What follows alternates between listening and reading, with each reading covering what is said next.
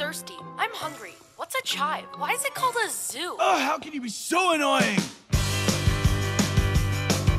I'm a little sister. I'll tell you, mister, that I'm not that easy to destroy. Cause I'm a little sister, you can try to resist her. But every little sister has the power to annoy. My tummy's grumbling, can you make me a sandwich, please? No. tomato, lots of turkey, also